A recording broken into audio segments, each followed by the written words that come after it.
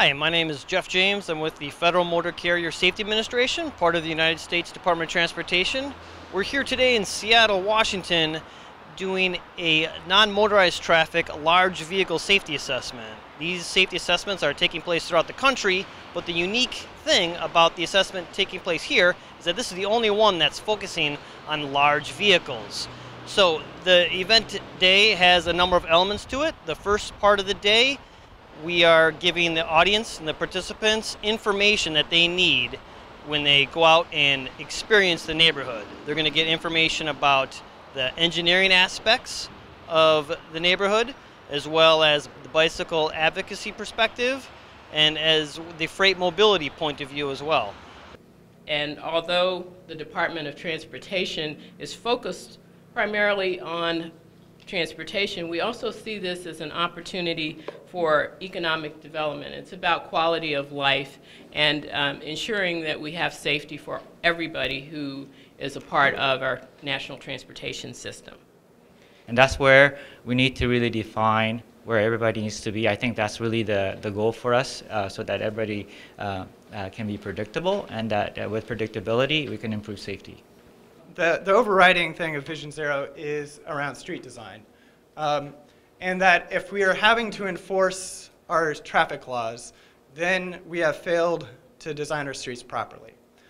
We govern speed. That's a choice we make. It's something we've challenged the federal government to actually have a, uh, a, a across the board speed limit for, for trucks commercially. Conventional bike lanes, now we're really understanding that these shouldn't be applied in settings where we have speeds over 30, 35 miles an hour.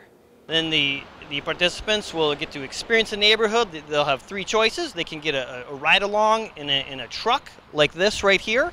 We also have a transit bus that is taking participants to the neighborhood.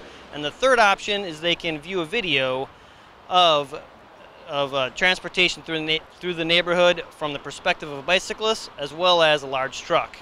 We have a few other demonstrations taking place today. We have this truck here, which is a demonstration of FMCSA's No Zone Safety Campaign.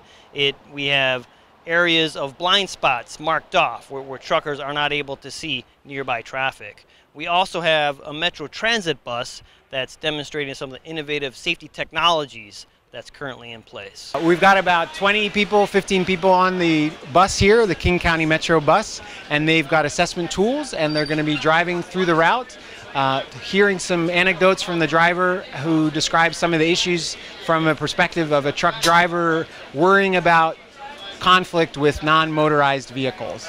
Participants today have had a variety of opportunities to experience the neighborhood of SODO and provide us their input of concerns and recommendations. This is going to be the, the final element where participants will take a bike tour of the neighborhood. First with us is Brian Wood from the University of Washington. Brian, can you tell us a little bit about what you're looking to get out of today? We've been looking at uh, different models for, for safer transportation among all the different modes.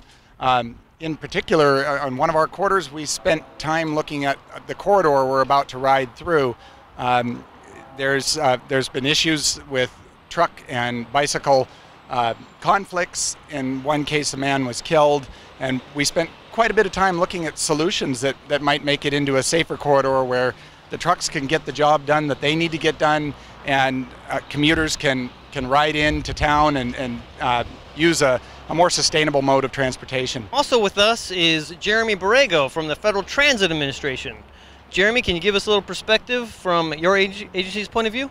Today we learned about some of the technologies that uh, King County Metro is implementing, uh, including an audible turn warning system, uh, as well as a, a bus wrap, their uh, Be Seen um, campaign that they're doing right now to help make pedestrians and cyclists more visible and uh, help cyclists and pedestrians also understand some of the challenges that uh, Metro drivers have when they're out on the roads.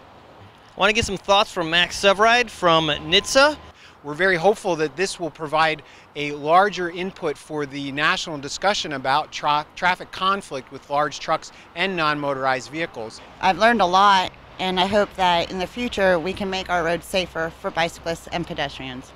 Hi, my name's Kurt Gillette, and I'm with the National Highway Traffic Safety Administration. You know, we talked about dedicated lanes, bike lanes today, and, uh, you know, I really think that if we can separate, you know, bicycles and pedestrians from traffic flow in our design of uh, our infrastructure, I think it'll go a long ways to improving safety. Let's ride!